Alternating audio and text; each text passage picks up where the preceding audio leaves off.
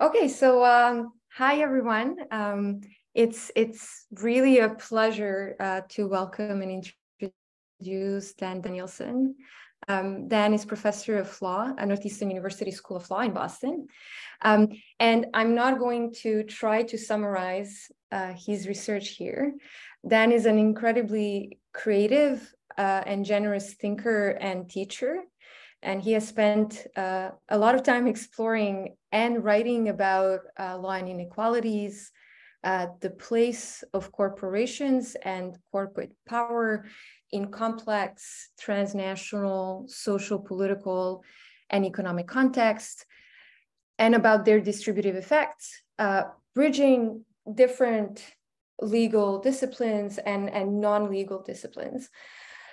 And today he will uh, talk about the distributive effects uh, of trade within what he and others have called the supply chain capitalism. Um, and he will talk about uh, some of his um, recent projects, uh, looking at um, how uh, we can start to reimagine development in a more uh, sustainable and equitable way.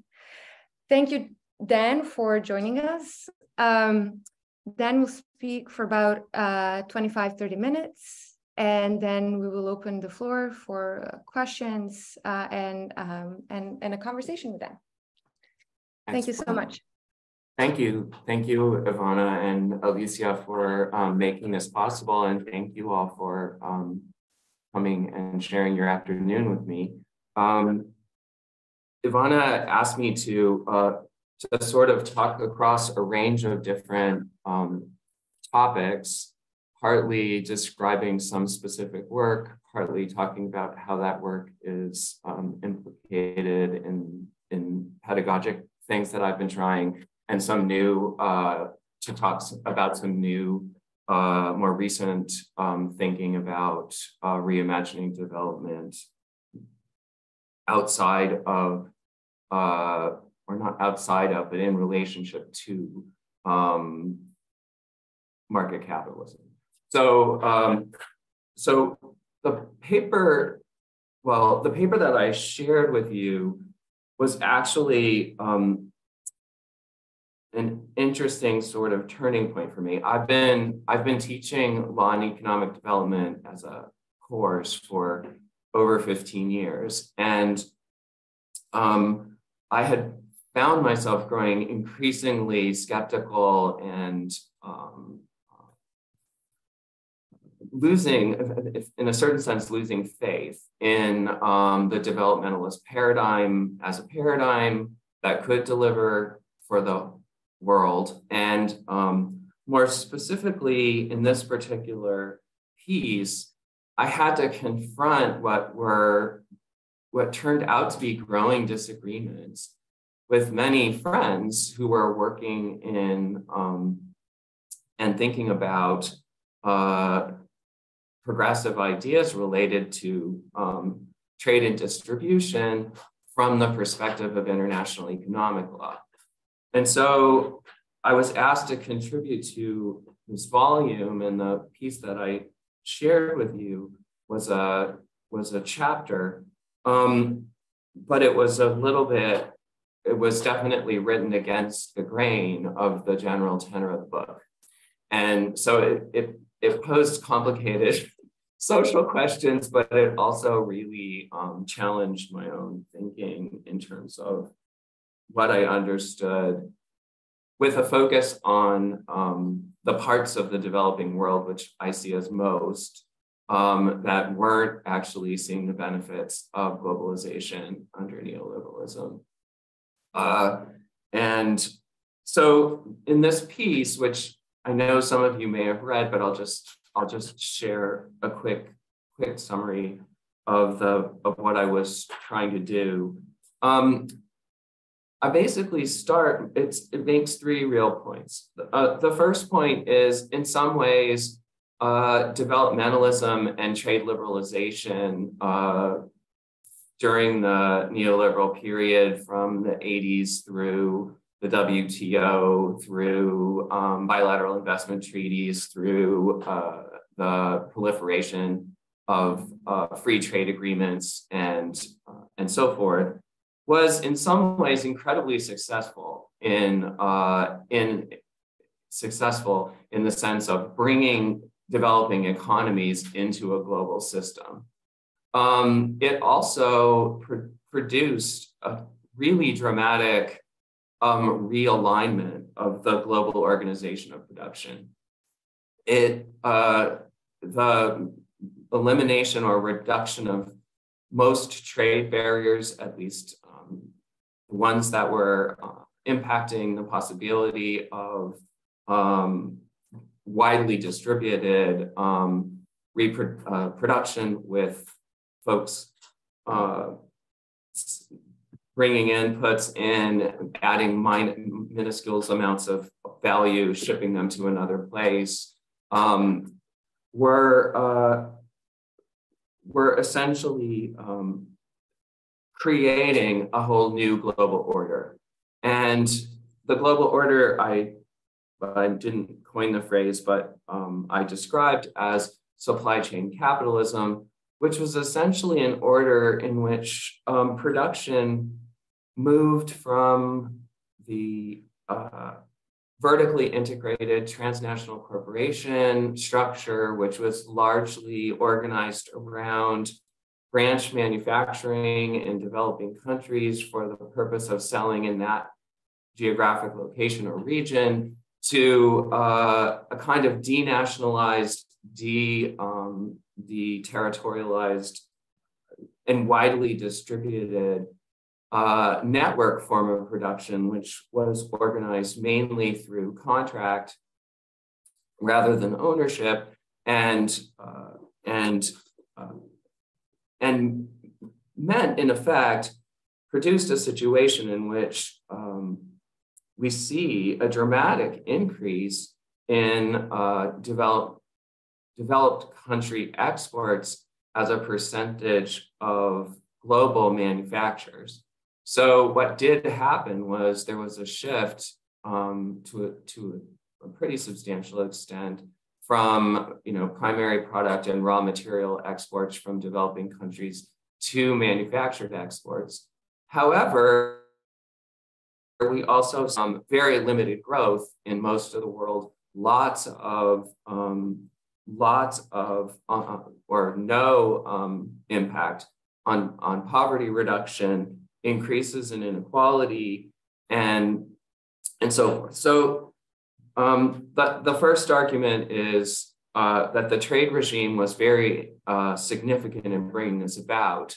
Um, but uh, I thought that um, progressive thinking around uh, trade and development was sort of missing um, significantly missing this transformation and therefore very unlikely to have much impact. And um, so the argument that I made was essentially that the more disaggregated and more dis- distributed production became, um, the less it was attached to any particular jurisdiction. And the more that um, was the case, uh, it was harder and harder for individual um, states to organize their um, their relationship to global economy through industrial policy of the traditional type or through um, through um, using using tariffs and so forth. It wound up being a situation in which the, the, the institutions in the global system that had the strongest interest in the coordination of these global supply chains were lead firms. And um, lead firms were essentially exercising enormous amounts of control over the global system through their ordinary business practices. So um, through supply contracts, through corporate codes of conduct, through um, just-in-time manufacturing, uh, um, supply chain management software that uh, that um, limited uh, tech transfer, all sorts of things were, um, were shaping, uh, shaping the global system. At the same time, the incredible success of bringing uh, developing countries into early stage, low tech, um, low, uh, uh, labor intensive manufacturing meant that there was cutthroat competition between suppliers um, trying to get access to the global chains. And so the combination of um, the only game in town is uh, participation in global supply chains. Participation in global supply chains is incre incredibly competitive. It moves the country from a focus on forward and backward linkages and economic development inside the nation to um, relationships that may put domestic firms in deep competition with each other in ways that um, made it difficult to, uh, to manage one single industrial policy. And on top of that, the fact that um, developing countries trying to uh, trying to um, diversify their economies were in a situation where uh, they were trying to enter into and compete in a range of different supply chains, which were demanding different levels of um, worker safety and, and so forth as a condition to um, participation in the supply chain. So um, a multinational corporation is usually the focus of, um, of IRE, but sometimes they were producing higher standards than the nation required Whereas other uh, other potential uh, buyer firms, goodness, it's the bane of the neighborhood, the leaf blower. Um, hopefully you can hear me. Um, so uh, at, it was producing a situation in which, um, uh, sorry, I lost my train of thought, one second.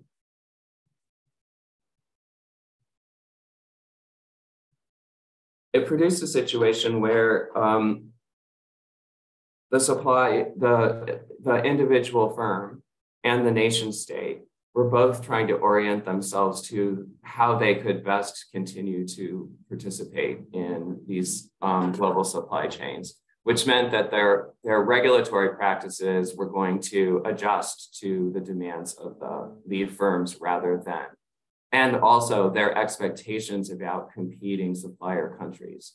So if you think I'm going to try to raise labor standards in my state, but actually all the other people supplying me apparel chains are not, then in effect, you might be producing more hardship in your domestic economy by raising labor standards than the absence of labor standards could produce. So um, the, the second piece was essentially that um, supply chain capitalism was limiting the bargaining power and innovative capacity of many um, developing countries and developing country firms in trying to capture equitable shares of the rents in, uh, from participation in global trade. So the last piece uh, is, is really focusing on how, um, given these conditions, the uh, the sort of traditional progressive approaches from the trade and development perspective to, um, to making things better for developing countries, we're missing significant, um, we're missing the boat in a sense. And um, the first one that I would call a, a sort of standard progressive approach is essentially to say the trade rules have become too restrictive. They're more, what we need to do is create more policy space for developing countries to be able to um, engage in the kinds of industrial policy and uh, import substitution, industrialization, and so forth that was so crucial to the development of the North Atlantic countries. And, um, and so the problem is that a second one is um, no, the problem isn't that the trade rules are too strict. The problem is the lack of capacity in developing countries to make strategic and effective use of the trade rules. And so, what we really need to do is engage in capacity building.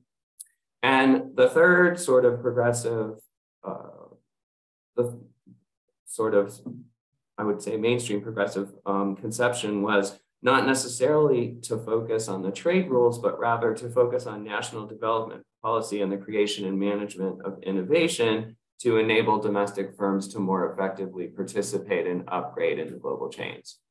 Um, and my argument is that, or I argued in this piece anyway, that um, each of these things may lead to some increased growth in some places, but um, by and large, um, the rules that were making, uh, creating these competitive conditions and creating and empowering lead firms were not primarily trade rules anymore. They were primarily um, rules of uh, contract and uh, and tax and intellectual property and um, and so forth, and that the um, and in order to engage with these uh, these issues, um, you really needed to get at what was what were the enabling conditions that were producing these inequitable distributions globally. And my argument was that that required a much more sophisticated understanding of global supply structures and the legal mechanisms that were contributing to their uh, to their um, power. And um, so essentially, uh, from there, I started to think, okay, um, we need a new we need a new approach. We need to look beyond the trade rules to to more. I think, for example, and I, I sort of in a kind of provocative, um, maybe overstatement, said, look, if that WTO loosened up policy space tomorrow and and gave a bunch of capacity to work with the trade regime, um, through money or training or whatever to developing countries, it's very likely to have almost no impact on um, the things that are actually constraining them, which is these competitive conditions between co-supplier countries and uh, lead firm uh, power exercised through supply structures. So um, the next thing I'm going to share with you was an attempt to kind of reflect on uh, okay if that if if that process is uh, is accurate my description of the of the constraints and the difficulties are accurate and um, and then we need to work on a method for doing this work more effectively. And so um, i've come up with uh, this piece isn't published yet. It's but it is is a kind of five heuristics that are ways of changing your thinking. They're aimed at studying supply chains, but I think they could be um, understood to be understanding, trying to understand global political economy more broadly, at least in relationship to um, to uh, private economic actors. Sorry.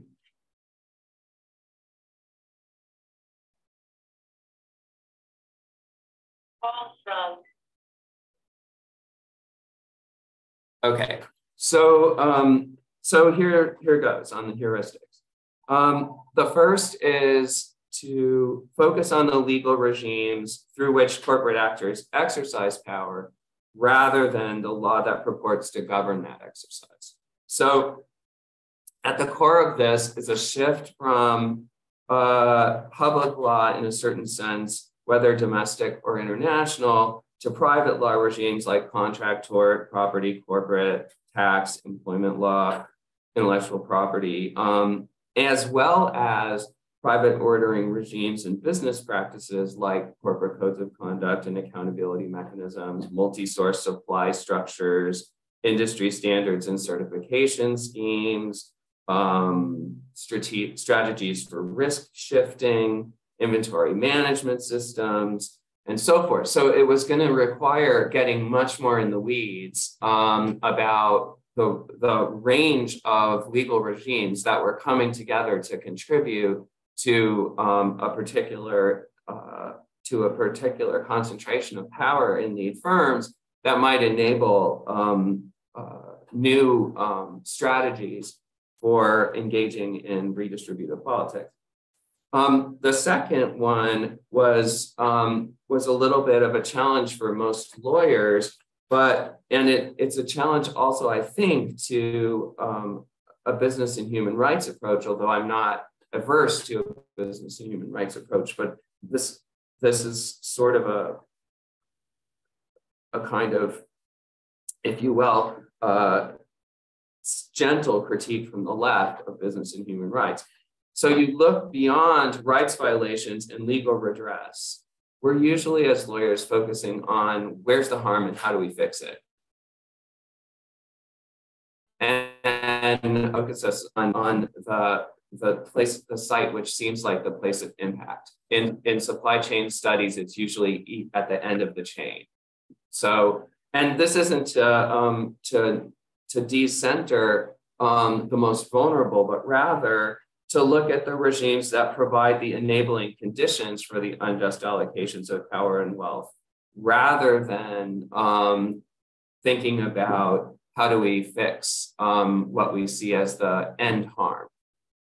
And um, so it's really to turn one's attention to these map, mapping these legal regimes that are enabling injustice.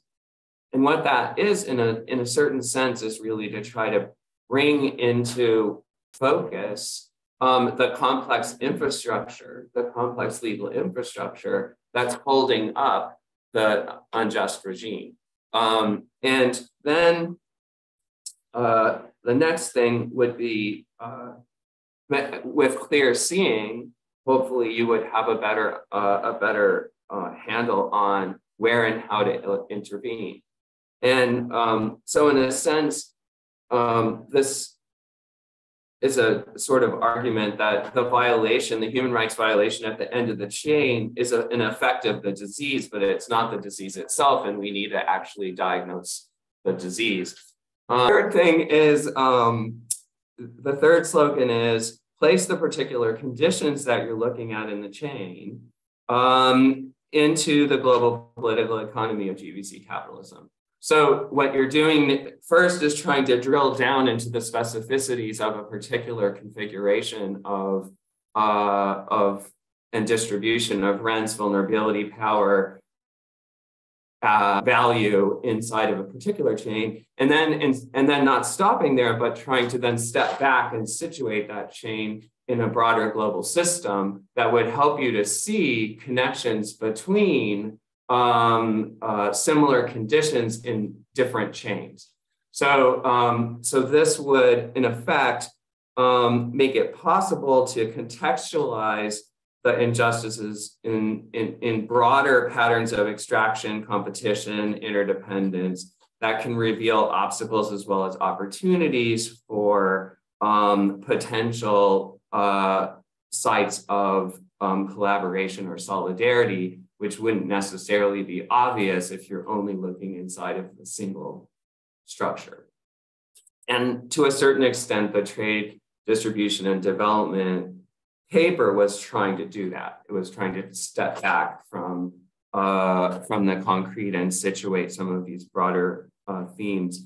And I, I did it also in another, another piece called um, Situating Human Rights uh, approaches to corporate accountability in the political economy of supply chain capitalism, which tried to talk a little bit about why a lot of multi-stakeholder initiatives and um, were feeling disappointed about the results that were coming from the efforts. And not that they weren't making real material differences on the ground, but that they didn't feel like they were having an impact on the structure. And so I thought, okay, well, what we need to do is realize that what you're fighting against is not just the palm growers in this particular place. It's this whole entire structure, which is empowering uh, empowering others to the disadvantage of the workers and the palm growers and all the other right. So um, the fourth slogan is uh, looking for possibilities for partially overlapping interests rather than conflicting ones among actors within a chain and between competing chains. And what this is really about is um, trying to work. So we're in a radically asymmetrical situation. The, the, the power distribution in a supply chain is radically asymmetrical. So um, that can feel initially totally dis, dis, disabling or, um, or disheartening. Um, but what I'm trying to suggest is if you can situate these conditions into broader structures of supply chain capitalism, then you're in a position potentially to see that it's not it's not just a labor capital structure at the uh, uh, struggle at the end of the chain. Maybe both labor and capital in the of suppliers are being squeezed by intermediaries or by lead firms in way that in ways that could um, open up the possibility for solidarity or at least partially overlapping interests to lead them to work together.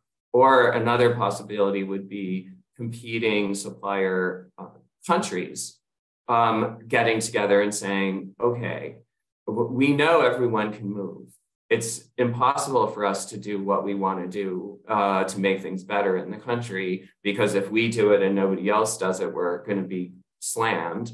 Um, and so what we need to do is set a floor. And even though supplier countries are competing for those things, it may be that they could extract more of the rents if they, you know, so this is just a general sort of labor organizing idea, but across nations. But the basic idea is that those kinds of possibilities of overlapping, even partially overlapping interests in an asymmetrical structure um, can um, can, uh, can help to create new strategies for social movement inside the structures. And the last one is um, uh, better maps for legal drivers of unjust allocations and GVCs can lead to better redistributive politics. And this is essentially um, thinking about ways in which um, despite the radical asymmetries inside of supply structures, what we've seen um, in the pandemic and the post-pandemic efforts, post if you want, the, the, the continuing efforts of global supply structures to deal with um, tiny disruptions in various places in the chain is the extent to which these chains are incredible systems of interdependence. Even if you're weak, you're needed at every level in the chain. Every single person in the chain is needed, right? So then the question is how do you use that, that limited power, maybe through aligning with people with overlapping interests to um, act, to uh, use the global chain structure as a mechanism for redistributive politics. And, and part of this is um, it, I think it's not completely crazy to think about this because, um, because it's very hard, and this is where I'm going to go next. It's very hard to um, to see nation states, even big developed nation states, doing much about this um, in, in their individual. Even we're seeing some of this um, supply chain disclosure stuff. We're seeing we're seeing efforts to try and um, exercise some control, but the but it's super it's super limited in terms of its um, its aspirations. It still seems to be very much a product of uh, you know reticence, a, a residual neoliberal reticence for the state to assert uh, control over aspects of the economy in any significant way. And um, and, and most of these structures are actually transnational and touch many, many, many countries. So I once had a, I once actually had a little poster, which I've subsequently lost, of a um, of a HP bubble jet printer that cost under $100 that had inputs from 156 countries. And so you can sort of see that um, in those circumstances, uh, these are already existing transnational structures of interdependence um, that are governing in the global system through, uh, through their negotiation processes. And if we could intervene in those in, in ways, organize social movement inside of those, you could get transnational effects that would be difficult for any individual state to produce. So that was just that that's that piece. And then um, from this kind of sort of thinking about mapping uh, and, and methodologies for mapping, I had the opportunity to um, co-teach with a close collaborator, friend, colleague, um, Lucy White um, from Harvard, uh, who mainly focuses on um, development in Africa, but also on social welfare and social movements. And we decided to try and see whether this mapping methodology um, that we were applying to these global horizontal um, chains could actually also be useful in thinking about discrete situated instances of inequality in particular places. And so um, we took on, we, we, we, in our, in this little workshop, we, we, uh, we did a, a, case study on the Rana Plaza disaster, um, which was a big factory collapse um, in Bangladesh that killed 1,100 people and wounded many, many more. And um, we tried to situate that not as an accident, but as, as a sort of expected uh, externality of, of, of the structure by building out what were the legal conditions that were producing this particular form of exploitation and the pressures on um, suppliers. Um, and, and at the same time, we did uh, an analysis of um, Ferguson, Missouri, uh, where Michael Brown was shot and started the um, Black Lives Matter movement, emerged out of that. And what we did was, uh, with the help of a really wonderful article, which I teach all the time, and you might look for by um, Walter Johnson. He's a historian of slavery, but he grew up in St. Louis. And he wrote an article in the Atlantic um, about why Ferguson, Missouri, which is the headquarters of three Fortune 500 companies, is getting 30% of its revenues from fines um, on people of color.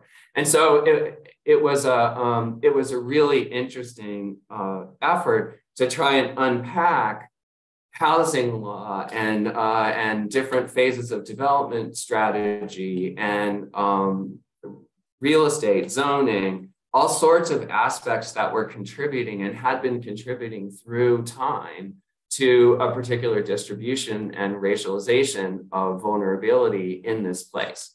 And um, so after that experiment, I, uh, I thought, yeah, there's something here. And also, this is something I think my students need to know how to do.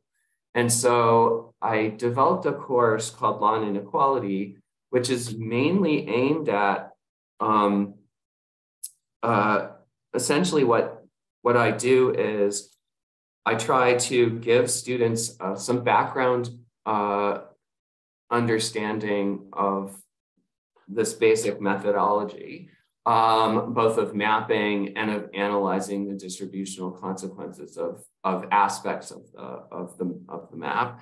And then um, they, or, they self-organize into groups they focus on specific instances of inequality that they care about.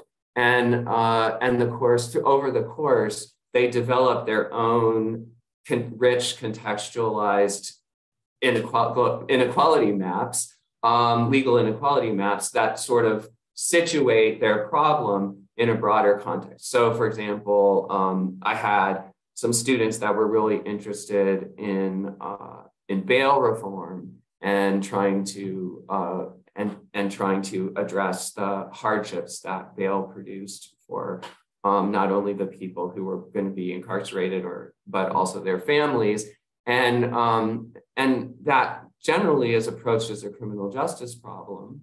And it's had a really hard time getting any traction in legislatures.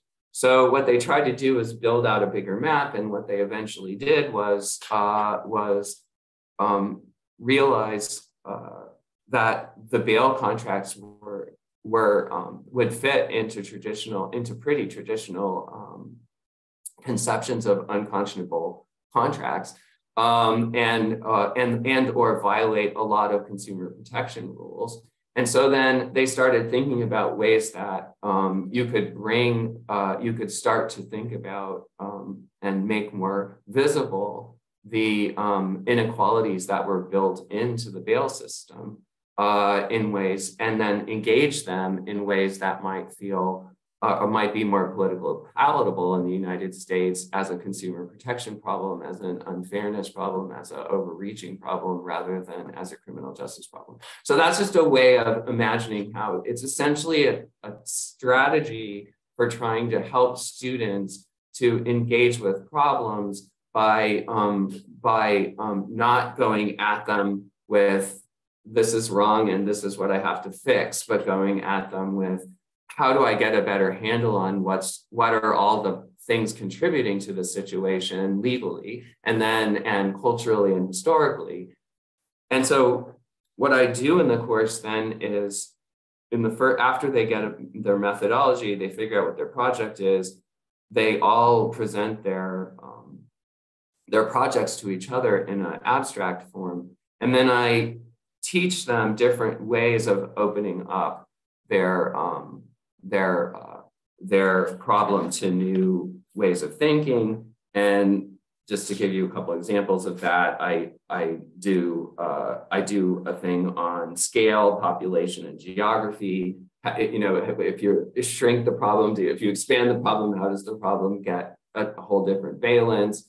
And that's um, I talk to them about uh, about uh, time and history you know, if you're focusing on the immediate situation, you would get a very different potential perspective on what's going on than if you shifted into a bigger register or vice versa. And um, I try to help them think about system and structure, and I do that with a focus on race but, and racialization. But it's a it's essentially trying to how do you deal with something that feels so pervasive that it's everywhere and yet you can't quite get your hands on it anywhere and um, and and we do these on do another one on binaries, conceptual binaries, how they how they help and how how they can be constraining, and then something about alternative imaginaries, you know, sort of. Um, and all of this is so what we do is I give them these theoretical readings, but then they talk about them in relationship to projects, and they use that as a way of developing their inequality maps. So that's one way in which pedagogically I've taken some of these ideas and tried to build them into teaching. And I and um, and uh, Ivana had said that you guys have been having conversations about pedagogy and thinking about how to do this stuff. Um, and so the last thing I'm going to say to you uh, is uh, something about, and I know I'm talking too long, but I'm going to just do this quickly. The last thing I'm going to say to you is something about my uh, a current project that I have um, with a range of collaborators.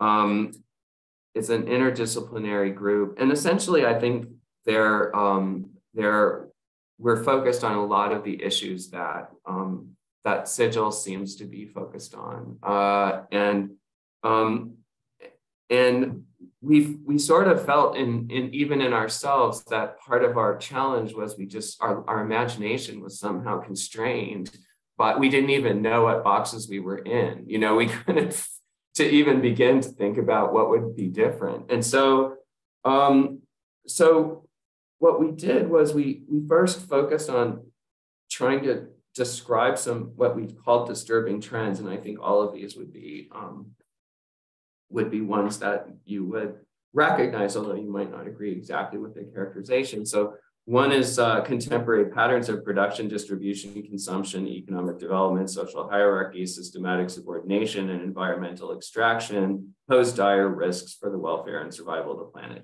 So it's now um, a little bit moving out of a developmentalist paradigm into a paradigm of, of you know, climate crisis. Contemporary political practices and legal administrative institutions of government, whether it's local, state, national, or transnational levels, seem both ill-suited and unlikely to generate meaningful interventions to ameliorate or may even exacerbate processes of planetary decline. So we're it's a it's a, a an anxiety about the effectiveness of, of current institutions. Third, innovation, experimentation, adaptation, resistance, transformation. They see most from social needs organizations and institutions or movements that may or may not coincide with extant political uh, or jurisdictional configurations. So things are, you know, and if you see the way that um, climate justice is working, or you see the way that Black Lives Matter is working, it's it's it's not confined to Ferguson or to the United States. It's it's expanding in all sorts of complicated ways to other communities, to other uh, other constituencies. And so in these circumstances, it seems like government's probably going to follow, support, resist, but seem unlikely to lead for the better. So, um, so in a certain sense, these experiments seem like the hope. Um, on the other hand, disparate existing and emerging experiments in new modes of collective coexistence, livelihood, ways of being, while they're both important and necessary, they seem unlikely to be sufficient to offset the systemic threats facing the nations and the planet.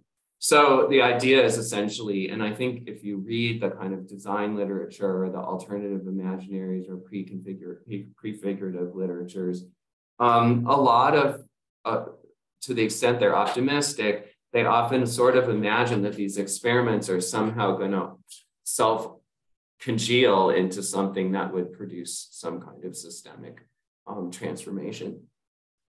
So um, what we decided in this group was to, to work with a concept that we thought was maybe productive, potentially productive, which is the idea of the region. Um, and this is a, it's, so it's not, it's not region as a, as a specific thing, and I'll explain why, um, what, how we're using it a, a little bit.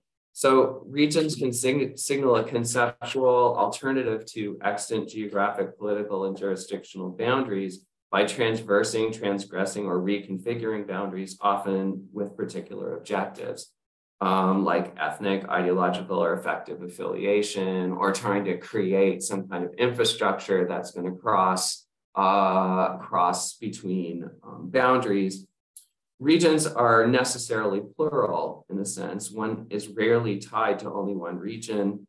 Um, and regions in that sense are non-exclusive in that beings, non-beings, and geographies can inhabit multiple regional configurations and affiliations. So it's an attempt to try and imagine fluid, a fluid kind of, um, of, of, of, political and, and uh, collective um, space of possibility. Regions aren't anchored in any scale. They might be smaller than a political unit. It could be like an economic empowerment zone in a, in a city, or they might um, comprise multiple units, um, like a linguistic group or uh, the EU, or um, they might be communities with shared interests that are affiliated through social media, or they could be uh, brought together because they're all being afflicted by uh, you know floating clouds of smog. I mean, the way in which these configurations can happen would be um, quite fluid and quite provisional. Um, thus, the concept of the region seems appealing from the standpoint of deterritorialized conceptions of connectedness. So interdependence and affinity, as well as spatial attachment.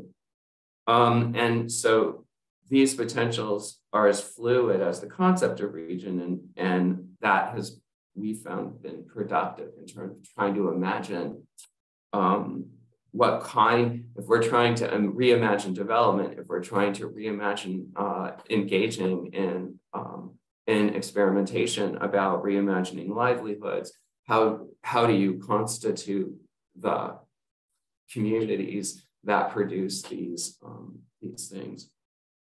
But uh, another key issue is, and this relates back to this underlying idea about trade, even as they seem fluid, regions, are, um,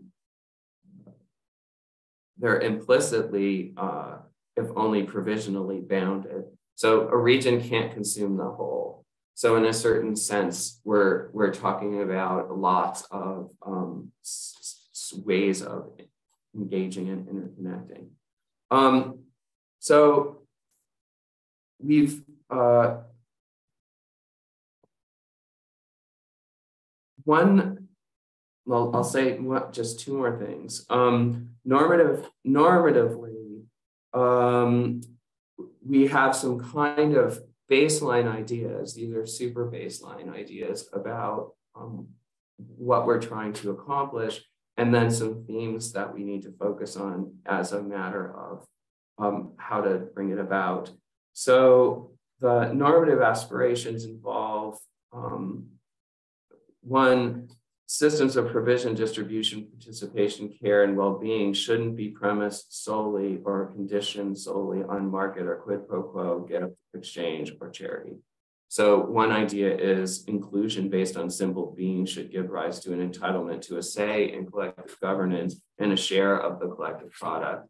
Um, membership, participation, entitlement of individuals and groups in social organizations, communities, polities, and networks should be multiple, porous, and non-exclusive, and not based on necessarily on territory or property. Um, emergent experiments and new configurations of governance um, will require sufficient autonomy to enable these processes of self-organization to emerge. So they need some room to be left alone. And on the other hand, no organization, community, polity, or network can meet all its needs on its own. Coexistence, survival, and well-being for all is going to require interaction, collaboration, and sharing with others. So then how do we tackle these things um, in a more concrete way? And I'm just going to suggest four, four quick things. One is you can, and this builds out of the mapping exercises, what are the motivating conditions? Um, what drivers are going to generate the energy for the experimentation, adaptation, resistance? So how do we how do we start to think about what is necessary? Are those material conditions, political will? Can critique contribute? Um, institution failure, ne- necropolitics? Do we need new subjectivities? How are we going to get um, get people mobilizing? Um, enabling conditions and infrastructures. What legal, material, institutional, and other infrastructures are creating current patterns of obstacles and, and what poss and, and also possibilities.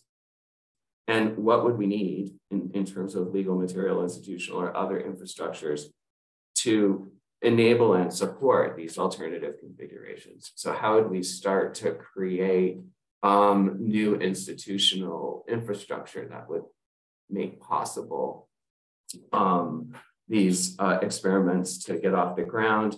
Interface mechanisms are assuming that the order is a plural order of interdependence, what legal and other modes of interface will be needed to enable and sustain coexistence, manage conflict, facilitate sharing, mediate clashes of values. If you're trying to imagine something that is politically and democratically um, self-constituted, then you can't, we have to imagine that lots of the value systems are not necessarily going to um, smoothly interact with each other. And so this would be um, building on the idea of finding partially overlapping interests. How do you create mechanisms for interconnection and sharing, even if without having one set of, of dominant shared values um, or dominant shared governance or, or organizational structures. And the last one is coordination mechanisms. What legal technology, technological or other mechanisms will be needed to facilitate cooperation, mutually beneficial and equitable exchange, rules of engagement, and conflict resolution amongst. Um, so, you know, in a certain sense, it's if we're going to imagine new possibilities, we have to imagine new legal institutions to um, both give them the space to emerge and also um, um, give them the possibilities for uh, not being immediately crushed or not resorting to um, to uh, violence uh, or um, or other modes um, that have so afflicted human history um, to date. So I know that was a ton, um, and I know I, I probably should have talked less, but I was trying to give you the full um, range of what Ivana asked me to touch on. So um, whatever you want to talk about is completely fine. Um, thank you. Um, thank you so much, Dan, for uh, this was this was really fabulous. Um,